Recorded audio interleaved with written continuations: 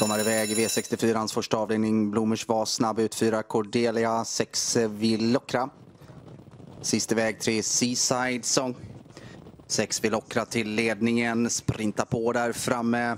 Var på den bortre långsidan med sex Villokra för eh, fyra Cordelia. Som utvändigt om sig har fem eh, Ray. Utvändigt om fem Ray, sju Escapada. Sju Escapada just nu ligger väldigt still där.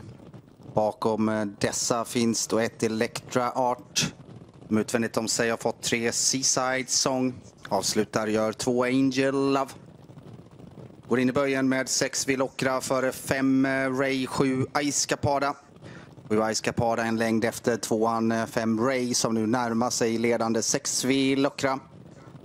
Och tre Seaside Song börjar positionera sig nu. Upp utvändigt om den i vitt med svart mössa klädda fyra Cordelia.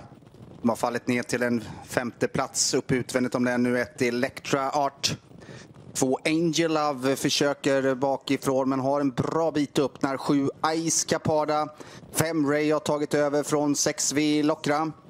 Sju Ice Capada finns utvändigt om fem Ray. Fem Ray lite efter just nu. Sju Ice Capada har greppet.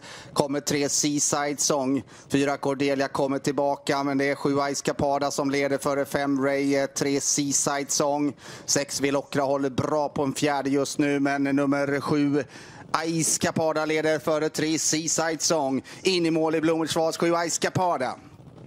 Carlos Lopez